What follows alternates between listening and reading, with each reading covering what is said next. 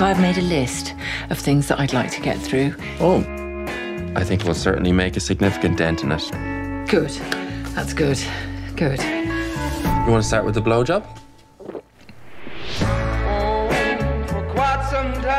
For 31 years, my husband would climb on top, do the business, roll off, put his pajamas on, and go back to sleep. I've never had an orgasm. And yes, in fact, if we do this, you will only be the second man I have ever had sex with. Oh, God. Now, Nancy. This is crazy. Nancy? It's terrible. It's wrong. Nancy, Yes? let's go to bed. Okay. What's the oldest person you've ever done it with? 82. 82? Yeah. 82? Nancy. Okay, I'm feeling a bit better now. I've been very bad today, miss. You might have to keep me behind after class. Okay, stop it. No, I know, miss, but No, we no, could no, just. safe word, safe word. We don't have a safe word.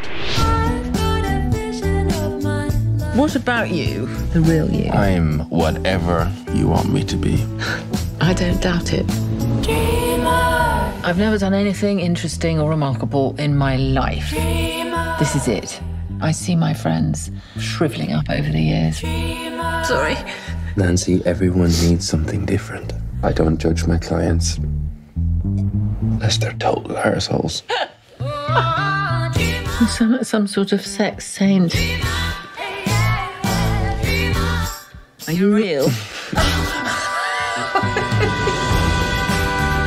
I have felt more alive in this last month than I can ever remember.